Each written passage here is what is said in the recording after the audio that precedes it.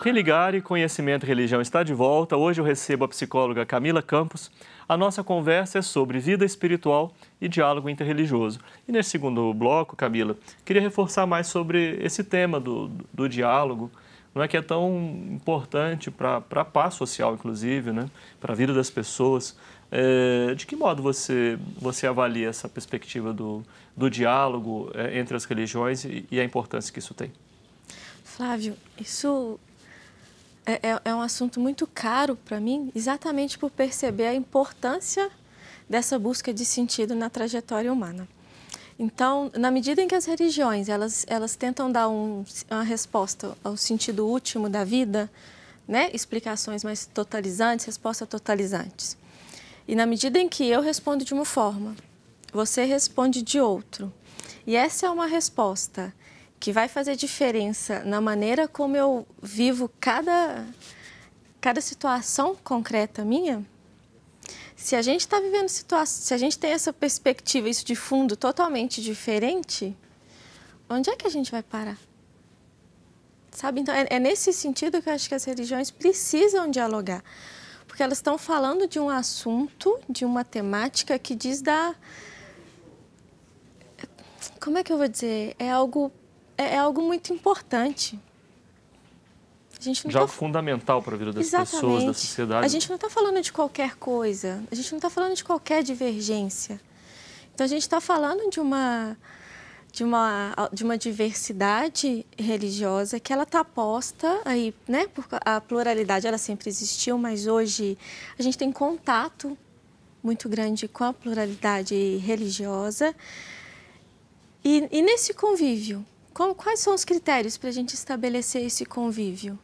Então, eu acho que a gente precisa conversar mais disso, porque na medida em que essa conversa é natural, em que eu posso te perguntar em que, que você acredita, Flávio? Olha, eu acredito nisso. E isso não.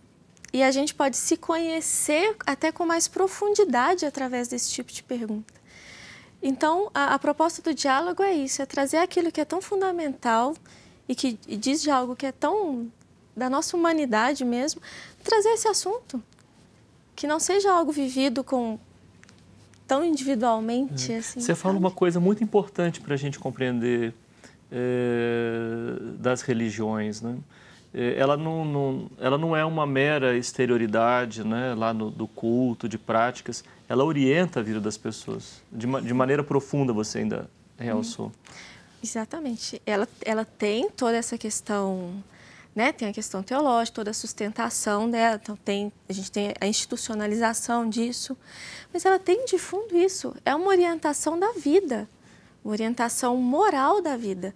Então, a gente vê que a gente tem aí na nossa cultura, religião e cultura são tá, tá imbricado, né? Não tem como separar totalmente uma coisa da outra. Então, se a gente não fala desses valores, é, eu fiquei muito instigado assim quando você fala dessa dessa forma a pensar não no plano macro, é, uhum. conversa na conversa com você, né? No diálogo entre povos, culturas, mas como pode ser, por exemplo, numa relação familiar, é? em que pessoas creem de formas distintas, não é? Em que os membros ali da, da família abraçam é, distintas formas de, de, de, viver a sua fé, as suas crenças. É, ali também o tema do diálogo é importante, não só o diálogo entre as religiões, não. mas entre pessoas que creem de formas diferentes. E, e eu diria até mais, Flávio, eu diria Sim. que aí é até mais importante, porque no momento em que, em outras épocas, isso não era uma realidade, mas hoje é. Hoje eu posso fazer uma escolha por uma religião, hoje eu tenho acesso, conhecimento da existência de várias religiões que se originam em outros países, outros continentes, eu tenho acesso a elas. Eu posso escolher por elas. Ela não precisa vir de uma tradição. Então, isso que não era uma realidade em outros tempos é uma realidade hoje e a gente precisa aprender a lidar com essa diversidade, com essa liberdade do outro de escolher um caminho totalmente diferente do meu e eu, eu continuo convivendo com ele. Isso é tão forte, Flávio, que isso aparece nos consultórios. Sim. Então, no momento em que eu escolho um caminho que é diferente do caminho que me foi apresentado na família, no meu contato ali da minha origem, isso, isso causa tensões que não são tão simples. Né? A gente está falando de pessoas que são queridas, de pessoas que nos deram e ainda nos dão sustentação. A gente está falando de pessoas de relacionamento de afeto. E ao mesmo tempo, se eu nego que existe uma outra religião que está me chamando a atenção, que está me respondendo mais às minhas questões, ao modo de vida que eu quero estabelecer, eu negar isso é negar a mim mesmo. E ao mesmo tempo também negar que ali tem pessoas, as pessoas queridas que têm um pouco da minha história naquilo que não faz mais sentido agora para mim.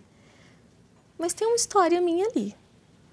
A coisa é complexa, não é tão Sim. simples. Cada um tem o seu e pronto. Hum. Não é, até porque eu posso ter uma religião e o meu filho, ou meu esposo, ou minha mãe mudar de religião e dependendo da religião, ela pode ferir algumas coisas que a minha religião acredita. Então parece simples quando é a religião do outro que está lá na outra casa. Mas como é que eu convivo aqui? Com as é. suas práticas que não vão de encontro a mim. E para esse microcosmos também a importância do diálogo, do respeito à diversidade, à tolerância religiosa, no respeito. É, é por isso, faz importante. É por isso que é importante essa. Desculpa. É por isso que é importante essa, a gente ter clareza disso que a gente falou no início. Quem que é esse ser humano? Então, o ser humano ele tem uma característica que é de escolher essa liberdade de escolher aquilo que mais responde. À medida em que eu tiro isso das pessoas ao meu redor, eu tiro a humanidade delas. Eu deixo de percebê-las enquanto ser humano, enquanto pessoa se eu só trato elas enquanto pessoas, se elas respondem aquilo que eu acho correto, eu estou esvaziando, esvaziando o relacionamento, esvaziando a pessoa. Eu fico pensando em, em, discursos religiosos que vão também colocando na cabeça das pessoas que esses discursos são os verdadeiros, são os mais verdadeiros. Hoje, caminhando pela, pela universidade, antes de vir aqui é, conversar com você, eu via uma pessoa orientando a outra né, falando que ela tinha que pensar no Deus que era o verdadeiro. Né? E, enfim, eu estava só de passagem, é, indo para o no, nosso programa de pós-graduação em Ciência da Religião, uhum. ali na PUC Minas. E, mas estou com isso aqui ainda, ainda na cabeça e, e a gente está falando sobre isso. Né? Então, há discursos religiosos que, que orientam, inclusive, não para o diálogo, é, mas para uma afirmação muito firme de que esse discurso é mais verdadeiro que o outro, ele é melhor. É, enfim, como é que a gente vai lidar com, com essa especificidade dos discursos, né, da linguagem religiosa e, e às vezes de, de compromissos de, de, certos discursos com a verdade nesse nível? Né? Nós somos a verdade, nós somos verdadeiros, nosso Deus é verdadeiro, aquele outro é falso. Ele não é... Como é que a gente vai resolver isso? Não, acho que nós não temos como resolver isso. Não, isso é muito delicado, né? E a gente precisa fazer essa diferenciação do diálogo teológico e o diálogo, quando a gente traz ele para o dia a dia, então não, não quer dizer que então não exista uma verdade. Se você acredita que essa é a verdade, ok. E tem toda uma sustentação dogmática para isso, tem toda uma sustentação teológica. Né? Não, é, não é ao acaso. O problema é quando você impõe essa verdade ao outro. Ela perde, ela perde um pouco até a validade na medida em que precisa de uma adesão, né? Se é imposto, sem essa adesão, a coisa perde até um pouco. Qual que é o sentido? Quando se aderir fala... a um Deus que me é imposto, então. É. Né? Tem a ver com aquilo que você falava logo no primeiro bloco sobre a questão do sentido também, né? O sentido que precisa ser é sempre validado, né? sempre refletido. Esse discurso fica violento exatamente por isso. Ele impede isso. O outro não tem que refletir, não tem que se posicionar. Eu digo para você que é a verdade, eu já conheci a verdade e eu te jogo goela abaixo essa verdade. Isso, é, isso vira um problema porque você impede até que a pessoa encontre essa mesma verdade que você. Porque você não está permitindo que ela elabore, que ela encontre, que ela reconheça isso como verdade. Você está impondo. Então, mas isso é muito difícil, né? A gente aceitar que o outro é livre, permitir o outro no tempo dele, eu já encontrei, deixa eu ajudar o outro a encontrar logo. Eu mudei a minha vida. A minha vida mudou totalmente, eu me salvei, deixa eu ajudar o outro.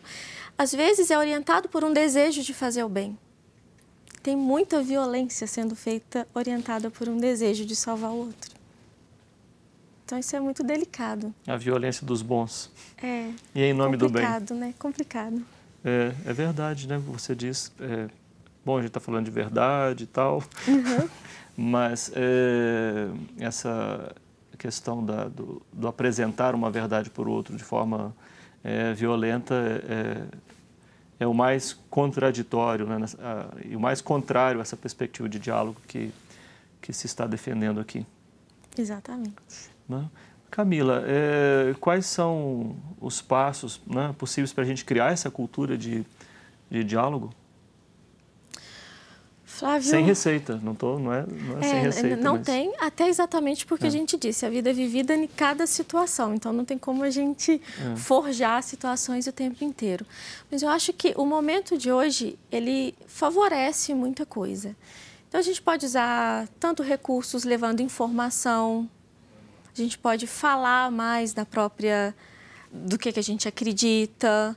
Então, através do conhecimento mesmo, falando mais disso, da importância de dialogar, independente do diálogo religioso, para ele acontecer, a gente já tem que aprender a dialogar com a diferença, seja ela qual for.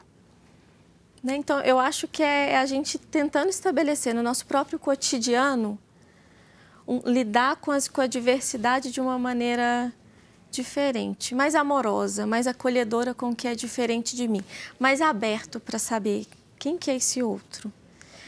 Isso, Flávio, ele vai diretamente a uma construção subjetiva mais sadia.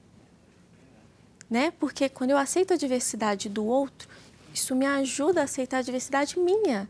Sabe aquelas imperfeições, aquele. Hum, oh. Eu também sinto raiva. Sim. Eu também sinto algumas coisas que não são bem quistas, que não são bem vistas isso não me desumaniza, ao contrário, diz exatamente da minha humanidade. Então, ao mesmo tempo, quando eu aprofundo nessas características paradoxais né, que eu trago, eu sou a mesma que amo, a mesma que sinto raiva, e às vezes até pela, própria, pela mesma pessoa. Né? O outro também é. O outro também é aquele que escorrega, que pensa diferente, assim como Sim. eu. Camila, foi um prazer imenso conversar com você. Religar de hoje, além de tudo, foi um programa lindo, além de um Obrigada. programa profundo. Obrigada. Somos um projeto de extensão do Programa de Pós-Graduação em Ciências da Religião da PUC Minas. Conheça mais sobre as nossas atividades e cursos de mestrado e doutorado acessando a página pucminas.br barra ppgcr. Obrigado a você que nos acompanha e a nossa equipe. Voltamos na semana que vem com mais um Religare Conhecimento e Religião. Um abraço muito cordial e até lá.